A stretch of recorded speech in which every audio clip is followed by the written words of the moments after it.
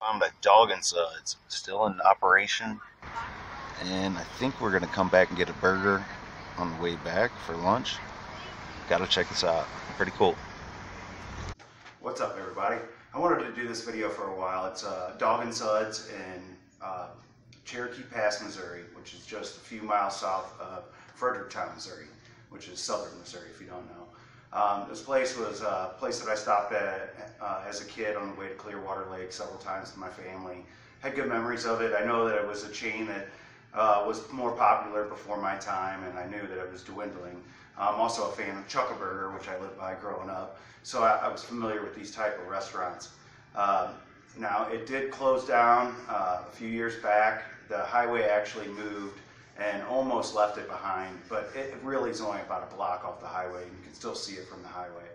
Um, I was going to do a little bit of uh, history on this. I'm just going to link to a video in the description that does a great job, way better than I can.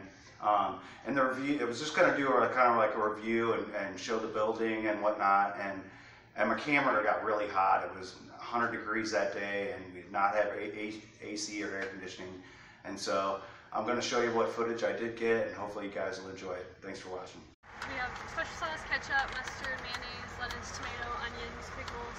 Lettuce, tomato, onions, uh, pickles, ketchup, and mayo.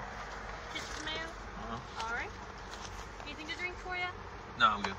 All right. Do you need ketchup or salt for your fries? No. All right. Just a Boilermaker basket with lettuce, tomato, onions, pickles, ketchup, and mayonnaise. Sure. All right. Did you want the basket with yours? No. All right. I'll be just a second. Thanks.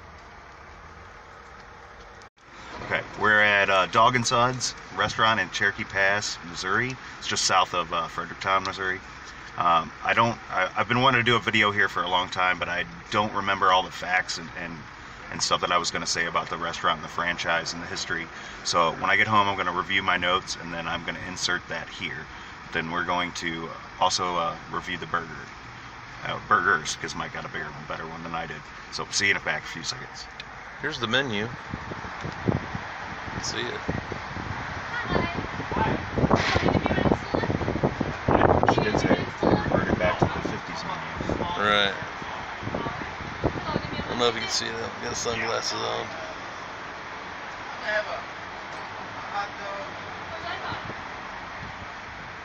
All right. My burger, this is the Texas burger, it is like a Big Mac.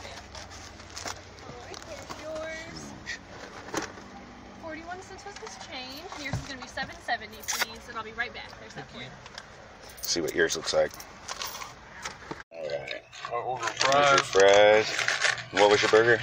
It's the boiler Boilermaker.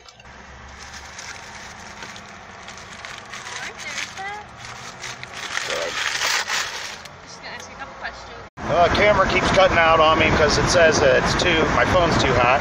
But we devoured our burgers; they were excellent. Mike's having a slaw. We definitely give it two thumbs up.